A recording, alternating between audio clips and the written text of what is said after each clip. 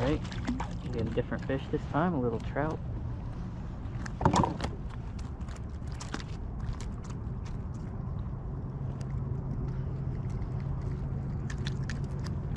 On the Fool's Gold Gulp Swimming Mullet.